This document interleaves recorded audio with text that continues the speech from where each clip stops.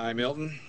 What's I, happening? I Milton, we're going to need to go ahead and move you downstairs into storage B. No, we I was uh, I have not- some new people coming in, No. and we need all the space we can get. but there's no space. so if you could in- just go ahead and If- pack up your stuff and move it down there, But no, that would be terrific. I, I, I was Okay. I could stay.